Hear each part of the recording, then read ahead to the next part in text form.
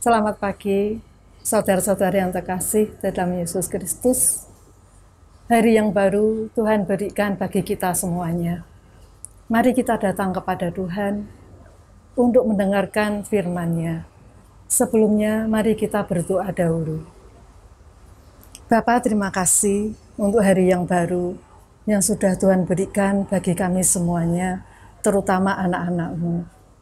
Terima kasih ya Bapak, Bapak, sebelum kami menjalankan kehidupan rutin kami sepanjang hari ini, kami mau mendengarkan firman Tolong Bapak berkati dan bukalah hati dan pikiran kami, supaya apa yang Tuhan firmankan boleh kami renungkan, boleh kami jalankan, dan di dalam kehidupan kami sehari-hari.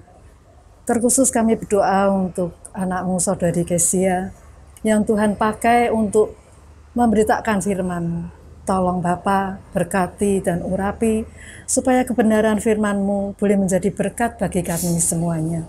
Itulah permohonan kami ya Bapa. Terima kasih Bapa atas kemurahan-Mu. Dalam nama Tuhan Yesus Kristus kami panjatkan doa kami. Amin. Renungan pada pagi hari ini berjudul Kuatkanlah hatimu dalam Tuhan. Terambil dari kisah para rasul 23 ayat yang 1 sampai ke 11. Tapi akan saya bacakan ayat yang ke-11 saja.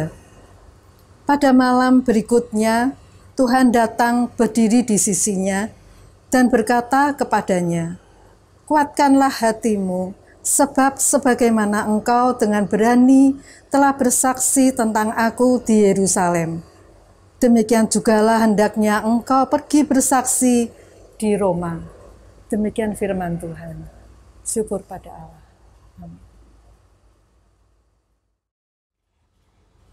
Shalom, selamat pagi Bapak Ibu Saudara yang terkasih dalam Tuhan Yesus Kristus. Saudara, beratnya penderitaan dan pergumulan kehidupan adalah salah satu penyebab iman seseorang menjadi lemah. Tanpa mata yang memandang hanya kepada Kristus, maka tentu kita tidak mungkin punya kekuatan dan keberanian untuk menapaki hari-hari ke depan. Inilah juga yang dialami oleh Paulus dalam perjalanannya memberitakan Injil. Paulus menerima penolakan yang begitu dahsyat dari orang-orang Yahudi. Orang-orang itu dengan begitu resah terhadap pengajaran Paulus tentang Kristus. Mereka begitu geram dan mengatakan bahwa orang seperti ini, maksudnya Paulus, sangat tidak layak untuk dibiarkan hidup. Oleh sebab itu, marilah kita enyahkan saja Paulus dari muka bumi ini. Saudara, betapa hebatnya tekanan yang dialami oleh Paulus. Apabila kita melihat berdasarkan kacamata manusia, tentu saja rasanya sudah tidak kuat dan tidak ada keberanian lagi untuk terus melangkah, bukan? Akan tetapi Tuhan meyakinkan Paulus bahwa dia akan terus melangkah memberitakan Injil bahkan sampai ke Roma. Saudara Kristus dan kuasa kebangkitannya yang menjadi pusat dari pemberitaan Paulus itulah yang akan melindungi dan menyertainya. Sebagaimana Tuhan telah menyertai Paulus pada masa-masa yang lalu, demikian pula Tuhan akan tetap menyertai dan melindungi Paulus pada masa-masa yang akan datang. Oleh sebab itu, dikatakan bahwa jangan takut dan kuatkanlah hatimu di dalam Tuhan. Saudara, kehidupan dan penderitaan memang dua hal yang sangat terkait erat. Apabila dalam hidup ini kita hanya berfokus pada masalah yang ada, maka tentu saja akan sangat sulit bagi kita untuk mengarahkan mata hati ini kepada Kristus. Tuhan selalu punya tujuan yang indah dalam kehidupan saudara dan saya. Tidak ada pergumulan dan penderitaan apa pun yang terjadi dalam hidup ini yang dapat menggagalkan tujuan dan rencana Tuhan bagi setiap kita. Oleh sebab itu, marilah kita terus berjalan dalam rancangan Tuhan dengan tetap mengingat bahwa sudah sampai sejauh ini Tuhan menyertai kehidupan kita, bahkan dalam masa-masa sulit sekalipun.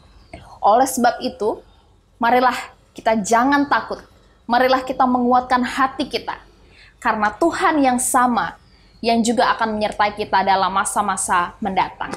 Saudara, janganlah takut melangkah bersama Kristus. Amin. Mari kita berdoa. Bapa Maha Kasih di dalam Kristus, kami mengucap syukur Tuhan. Hari ini firman-Mu memberi kekuatan kepada setiap kami. bahwa sudah sampai sejauh ini Tuhan menolong, memimpin, dan menyertai langkah kami. Bahkan dalam masa-masa sulit sekalipun kami melihat bagaimana tangan Tuhan tidak pernah berhenti di dalam menyertai kami. Maka kami punya keyakinan, kami percaya, kami punya pengharapan bahwa Tuhan akan terus menyertai dalam setiap kehidupan kami. Bapak tolong kami untuk kami dapat tetap melihat rencana Tuhan di dalam kehidupan kami. Rencana yang tidak pernah gagal sekalipun diterpa oleh masa-masa sulit sekalipun. Bapak yang baik, pada hari ini kami terus berdoa di dalam proses vaksinasi yang terus berjalan Bapak kami serahkan ke dalam tangan Tuhan di dalam proses ini supaya dapat berjalan dengan baik setiap orang yang mengambil bagian di dalamnya. Tuhan boleh tolong sertai berikan mereka hikmat, integritas, hati yang penuh takut akan Tuhan, hati yang siap sedia melayani dan membantu masyarakat. Kami juga berdoa Tuhan untuk penyebaran hoax-hoax yang ada, Tuhan tolong supaya anak-anak Tuhan, setiap masyarakat Indonesia tidak menjadi termakan oleh berita yang tidak benar adanya. Bapak yang baik, kami juga menyerahkan ke dalam tangan Tuhan untuk kesehatan setiap kami. Kiranya Tuhan yang menolong memberikan kami uh, hikmat di dalam kami menjaga kesehatan, pola hidup kami, supaya dengan tubuh yang sehat, kami juga boleh mempermuliakan nama Tuhan, mengerjakan segala sesuatu dengan efektif. Bapak yang baik, kiranya Engkau juga menganugerahkan kepada kami sukacita serta damai sejahtera di dalam Tuhan. Damai sejahtera yang akan terus memancar sekalipun begitu banyak tantangan kehidupan. Kami merahkan hidup kami, diri kami ke dalam tangan Tuhan. Mohon Tuhan sendiri yang bekerja dan berkarya melalui kehidupan kami. Terima kasih Bapak, terpujilah namamu demi Kristus kami berdoa. Amin. Saudara, selamat menjalani kehidupan sepanjang hari ini bersama dengan Tuhan yang memberikan kita kekuatan. God bless you.